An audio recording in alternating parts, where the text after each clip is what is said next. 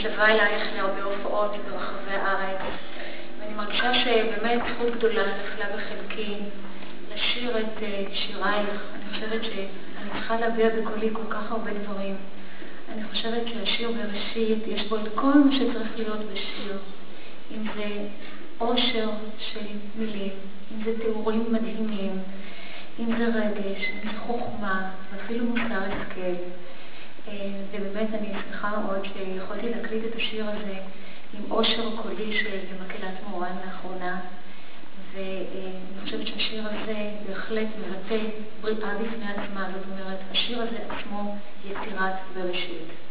בראשית.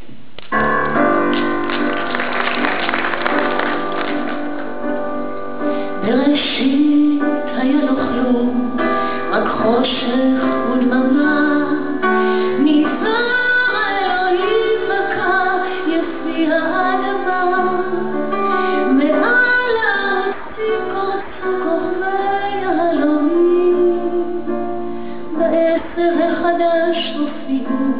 יצורים אילמים, והאדם היה מודע ברצף האינסוף, שאלוהים בחוכמתו שמע אותה לסוף. התעצמנו מאז, התעצמנו